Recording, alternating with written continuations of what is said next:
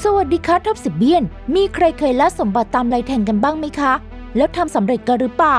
บางคนโชคไม่ช่วยด้านสวยเจอของทิพย์ซะงั้น ขณะที่หลายคนกับคนพบสิ่งมหัศจรรย์พันลึก ด้วยความบังเอิญขั้นสุด แต่ละชิ้นนี้น่าทึ่ง และชวนอึ้งกันไปสิบวินาทีงั้นเราไปดูกันดีกว่าว่า คนแต้มบุญดีเหล่านั้น เขาเจออะไรกันบ้าง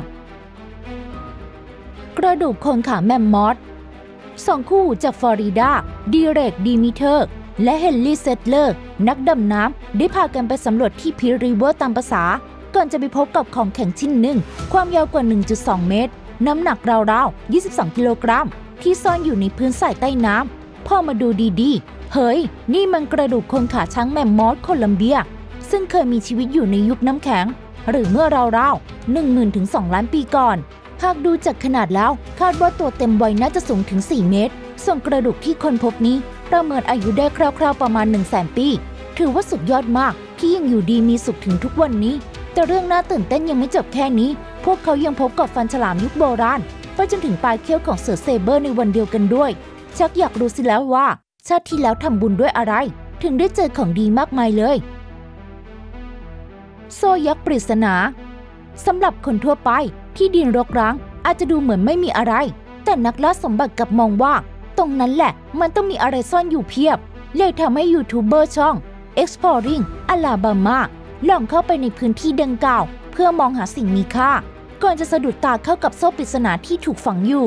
ในวันต่อมาเขาจึงพาเพื่อนๆมาช่วยกันขุด พบว่าโซ่มีขนาดใหญ่และหนักมาก ทั้งขุดทั้งงัดอย่างไรก็ยังไม่พบปลายที่ฝังอยู่สักที พวกเขาพยายามทุกวิถีทาง แม้จะต้องจ้างแบ็คโฮมาช่วยขุดก็ตาม จนในที่สุด พวกเขาก็สามารถขุดโซ่ความยาวเกือบ 4 เมตร ที่ติดอยู่กับแท่งเหล็กขนาดใหญ่ ที่มีรอกติดอยู่ออกมาได้ ส่วนมันจะมีไว้ทำอะไรนั้น ก็ยังไม่มีใครทราบ แต่มีหลายคอมเมนต์สันนิษฐานว่า น่าจะเป็นโซ่สำหรับลากซุ่ง ไม่รู้เหมือนกันนะว่า สรุปแล้วสมบัติชิ้นนี้จะคุ้มค่ากับความพยายามมากขนาดไหน กระสุนปืนใหญ่สัญชาติญี่ปุ่น เครื่องตรวจจับโลหะนี่เป็นอุปกรณ์ที่นำไปสู่การศึกษาทางประวัติศาสตร์อันยิ่งใหญ่ซะจริง เมื่อวันหนึ่งชายสองคน ได้ไปสำรวจบริเวณไวโอเลตฮิล ใจกลางของเกาะฮ่องกงด้วยความหวังว่าจะเจออะไรสักอย่างติดไม้ติดมือสักหน่อย กลายเป็นว่าโดนกันจริง ๆ และนั่นก็คือกระสุนปืนใหญ่สัญชาติญี่ปุ่นถึง 3 ลูก เมื่อตกใจเสร็จกันไปเรียบร้อยสองหนุ่มนักค้นหาจึงรีบแจ้งไปยังตำรวจฮ่องกงเพื่อประสานงานกับผู้เชี่ยวชาญเข้ามาเก็บกู้กันอย่างด่วน เพราะไม่มีใครคาดการณ์ได้ว่ามันจะเกิดอันตรายอย่างไรได้บ้างแหมนี่ขนาดกระสุนปืนใหญ่ยังระทึกขนาดนี้ ถ้าไประเบิดแล้วก็ สงสัยข่าวใหญ่ไปทั้งเกาะฮ่องกงแน่นอน รถม้าจากยุคเซลติก ถ้าเรานำเครื่องตรวจจับโลหะมาล่าสมบัติอาจจะโชคดี เจอพวกของชิ้นเล็กๆ ที่ถูกฝังไว้ แต่ในเคสของไมค์สมิธเขาควรพบของชิ้นใหญ่ที่สุดเท่าที่เจ้าเครื่องนี้จะหาได้ นั่นก็คือรถม้าโบราณทั้งคัน หลังจากตื่นเต้นที่เครื่องดังแล้ว จึงขุดลงไปอีกประมาณ 23 เซนติเมตรก็พบบางอย่างคล้ายเข็มกัด และโซ่ที่น่าจะเชื่อมต่อกับของชิ้นใหญ่ เขาจึงติดต่อเจ้าหน้าที่ เมื่อทางทีมงานได้ลองขุดลึกลงไปอีก ปรากฏว่าเจอล้อเหล็ก และชิ้นส่วนต่างๆ มากมาย และเมื่อลองนำมาปฏิประต่อกัน เจ้าตัวแทบจะเป็นลม เพราะมันเป็นของโบราณรำค่าจากยุคเซลติก แน่นอนว่างานนี้ไม่ได้ขุดฟรี เพราะจะได้รับเงินรางวัลสูงกว่า 40 ล้านบาท โดยแบ่งกับเจ้าของที่คนละครึ่ง เรียกได้ว่าเจอครั้งเดียว นี่อย่างกับถูกลอตเตอรี่เลย ว่าแล้วก็ออกไปหากันดีกว่า เพื่อเจอจะได้รวยกับเขาบ้างไง แท่งเงินโจรสลัด พูดถึงโจรสลัด แค่คิดก็ตื่นเต้นแล้ว และยิ่งเป็นสมบัติของพวกเขาด้วยนะ ยิ่งมันเข้าไปใหญ่โดยงานนี้แบร์รี่คิฟฟอร์ด นักสำรวจผู้ลงไหลในการตามล่าหาสมบัติ จากซากเรืออับปางจากทุกตำนาน พร้อมกับทีมงานก็ได้เจอของดีเข้า โดยเป็นแท่งเงินน้ำหนักถึง 50 กิโลกรัม ในซากเรือที่นอกชายฝั่งอินแซนมารีของมาดากัสกาบนนั้นได้สลักตัวอักษรและตัวเลขไว้ด้วย จึงเชื่อว่ามันต้องเป็นส่วนหนึ่งของสมบัติจรสลัดชื่อดัง วิลเลียมคิดอย่างแน่นอน เมื่อทีมผู้เชี่ยวชาญจากองค์กรยูเนสโกมาสำรวจ ก็พบว่าเจ้านี่ไม่ใช่เงิน แต่ทำมาจากตะกั่วกว่า 95%ต่างหากล่ะ เป็นอันว่าฝันอันน่าตื่นเต้นสลายหายไปในพริบตา เพราะนอกจากจะไม่ใช่สมบัติอย่างที่คิดแล้ว ยังไม่มีส่วนเกี่ยวข้องกับเราไร้อีกต่างหาก เฮ้อตื่นเต้นฝีไปซะอีกมัมมี่หญิงสาวตั้งครรภ์ พูดถึงเรื่องราวการค้นพบทางโบราณคดี ถ้าไม่มีมัมมี่อียิปต์คงจะไม่ครบรถ แต่นอกจากที่ผู้เชี่ยวชาญเอามาโชว์ให้ดูหลายแบบแล้ว ใครจะไปเชื่อเลยว่า มีมัมมี่หญิงสาวตั้งครรภ์กับเขาด้วย ร่างนี้ถูกค้นพบในปี 1826 ตอนแรกที่ดูชื่อ ก็คิดว่าน่าจะเป็นของนักบวชชาย เพราะถูกคุ้มด้วยผ้าและเครื่องรางหลายชิ้น แต่เมื่อลองเอ็กซเรย์ดูถึงกับตกใจแรงมาก เมื่อพบว่าในท้องของมัมมี่นี้ มีมือและเท้าน้อยๆแสดงขึ้นมาด้วย นั่นเท่ากับว่านี่เป็นมัมมี่ของหญิงสาวตั้งครรภ์ซึ่งสร้างความประหลาดใจกับพวกเขามาก เพราะนี่เป็นครั้งแรกที่เจออะไรแบบนี้ ถือว่าเป็นโอกาสดีที่จะนำไปสู่การศึกษาเรื่องการตั้งครรภ์และการรักษาภาวะแทรกซ้อน ในสมัยโบราณได้เลยทีเดียวแลบทันตกรรม ภายในตึกเก่าที่ถูกทิ้งร้าง นักสำรวจเมืองในหนึ่ง ได้เปิดเผยมันออกสู่สายตาประชาชนกันอีกครั้ง เมื่อเข้าไปด้านใน ทุกที่มีแต่ฝุ่นหนาเตอะพื้นและผนังเต็มไปด้วยคราบ บนโต๊ะยังมีปากกา และปฏิทินเก่าพร้อมแก้วกาแฟวางอยู่ แต่ที่ชวนขนพองสยองเกล้าสุด น่าจะเป็นบรรดาฟันปลอม แม่พิมพ์ของขากรรไกรและฟันของมนุษย์นี่แหละ สืบไปสืบมาพบว่าที่นี่เคยเป็นคลินิกทันตกรรมแห่งแรกของฮาโรเกต เขตนอร์ทยอร์กเชียร์ ประเทศอังกฤษ แต่คลินิกแห่งนี้ได้ปิดตัวลงไปในปี 2012 กับความพยายามของร้านกาแฟสตาร์บัคที่ยิ่งขอใช้ที่ดินตรงนี้ถึง 3 ครั้ง แต่ก็ไม่ผ่านสักทีจนกระทั่งถูกทิ้งร้างนานถึง 8 ปี มีคนเข้ามาสำรวจ และได้ถ่ายภาพสุดระทึกขวัญนนี้ออกให้เราได้ชมกัน สมบัติจากยุคสำริดการค้นพบครั้งนี้จะต้องยกความดีกับสิงสารสัตว์แถวนั้นไปเลย เนื่องจากพวกมันทำให้มนุษย์เราเจอสมบัติรำค่าจากยุคสำริดยังไงล่ะ โดยเมื่อต้นปี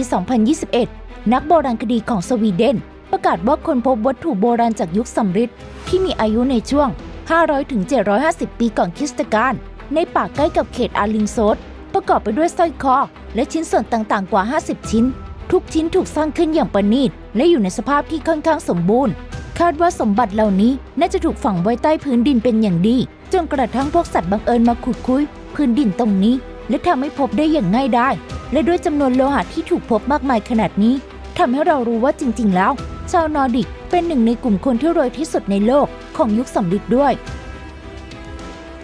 นิ้วโลหะยักษ์ ในศตวรรษที่ 19 นักสะสมงานศิลปะชาวอิตาลีจัมปีเอโตรแคมปานาได้พบกับรูปปั้นนิ้วโลหะสำริดขนาดใหญ่ถึง 38 เซนติเมตร จึงนำมันไปเก็บรักษาไว้ที่พิพิธภัณฑ์ลูฟร์ในกรุงปารีส ต่อมาในปี 2010 ได้มีนักศึกษาปริญญาเอกทำการค้นคว้าสมบัติชิ้นนี้ โดยการลองใช้แบบจำลองสามมิติ ประกอบนิ้วนี้เข้ากับรูปปั้นของจักรพรรดิคอนสแตนติน ที่อยู่ในคาปิโตลินีประเทศอิตาลี ปรากฏว่าชิ้นส่วนมันเข้ากันได้พอดีเป๊ะ จนกระทั่งในปี 2018 จึงมีการยืนยันอย่างเป็นทางการว่า นิ้วโลหะยักษ์เป็นของรูปปั้นคอนสแตนตินจริง ๆ ก่อนจะถูกส่งไปประกบกับรูปปั้น ที่โบสถ์ในเซนต์ปีเตอร์สเบิร์ก ประเทศรัสเซียอย่างสมบูรณ์ในปี 2021 นี้ ถือว่าเป็นของขวัญสุดล้ำค่าสำหรับการเฉลิมฉลองครบรอบ 550 ปี ให้กับพิพิธภัณฑ์ด้วย ซากเรือโบราณจมใต้น้ำ บางครั้งการค้นพบไม่จำเป็นต้องขุดอย่างเดียว บนท้องฟ้าก็เจอได้เช่นกัน ซึ่งงานนี้เป็นกรณีของแอนโทนีเมอร์ฟีที่นำโดรนขึ้นไปบินสำรวจเหนือแม่น้ำบอยน์ ในไอร์แลนด์ เมื่อวันที่ 27 เมษายน ปี 2021 ที่ผ่านมา และในขณะที่กำลังถ่ายภาพอยู่นั้น ก็บังเอิญไปเจอวัตถุรูปร่างสี่เหลี่ยม จมอยู่ใต้ก้นแม่น้ำ เมื่อเขาและนักโบราณคดีนำภาพมาเช็คดู พบว่ามันน่าจะเป็นเรือที่ทำจากไม้ซุงทั้งท่อน จากยุคหินใหม่คาดคะเนความกว้างของเรือไว้ประมาณ 60 เซนติเมตร และความยาว 180-240 เซนติเมตร และอีก 2 วันต่อมา ผู้เชี่ยวชาญได้พบเรืออีกลำที่มีขนาดใหญ่กว่า แถมยังเสียหายน้อยกว่าลำแรกที่แอนโทนีเจอด้วย แต่อีก 3 วันให้หลัง แอนโทนีเผยว่าเขาพบเรือไม้สูงลำที่ 3 ไม่แน่นะ ถ้ารออีกหน่อย ของดีอาจจะโผล่มาอีกก็ได้ รจะรู้ ห้องลับแห่งอียิปต์ ใครจะไปเชื่อว่าในผาหินหน้าตาธรรมดาธรรมดาจะมีอะไรซ่อนอยู่กับเขาด้วย โดยมีอยู่ครั้งหนึ่งที่นักโบราณคดีตาแหลม ไปบังเอิญเห็นช่องเล็กๆ และช่องบนหน้าผาสูงของหุบเขาศักดิ์สิทธิ์ในอบิดอส เมื่อลองเข้าไปสำรวจถึงกับตาลุก เนื่องจากด้านในถูกแบ่งเป็นสัดส่วน บางห้องสร้างโดยขยายอุโมงค์ตามแนวรอยแยก หรือทางน้ำบนชั้นหินใต้ภูเขา บางส่วนเชื่อมจากห้องหนึ่งไปยังอีกห้องหนึ่ง ความสูงประมาณ 1.2 เมตร ส่วนจุดประสงค์ที่ถูกสร้างขึ้นยังไม่มีใครทราบแน่ชัด คาดว่าสถานที่แห่งนี้น่าจะถูกใช้ในพิธีกรรมศักดิ์สิทธิ์หรือเป็นสัญลักษณ์ของความเชื่อในสมัยนั้นมากกว่าจะเป็นสุสานอย่างที่เคยขุดพบ อ่างอาบน้ำโรมัน เรื่องมันก็มีอยู่ว่ามาร์กและเจนนี่รอนสแมนได้ซื้อบ้านหลังนี้เป็นของตัวเอง ซึ่งเจ้าของบ้านเคืองก่อนได้กระซิบบอกเขาว่า ใต้ห้องทำงานของบ้านนี้มีอ่างอาบน้ำอยู่ด้วย ทันทีที่สองสามีภรรยาย้ายเข้ามา ก็ได้จัดการรื้อพื้น ซึ่งปิดอ่างอาบน้ำอย่างระมัดระวัง หลังจากนั้นสิคะคุณขา ความ Amazing อยู่ตรงหน้า เพราะกลางห้องนั้นคืออ่างจากุซี่ที่ปูด้วยกระเบื้องโมเสสสีน้ำเงิน ในสไตล์โรมันโบราณ แถมยังมีขนาดใหญ่กว่าที่พวกเขาคิดไว้เสียอีก เมื่อการค้นพบสำเร็จสมใจอยากแล้ว พวกเขาจึงลงมือปรับปรุงห้องนี้ ทั้งห้อง เพื่อให้เข้ากับอ่างอาบน้ำแสนสวยนี้ รวม 3 ปีครึ่ง จนบริเวณนี้กลายเป็นห้องที่งดงามที่สุดในบ้านไปแล้ว ถ้าคุณชอบวิดีโอของเราสามารถแสดงความคิดเห็นกดไลค์และกดติดตาม แล้วห้ามพลาดวิดีโอใหม่ของเราได้ในวิดีโอหน้านะคะ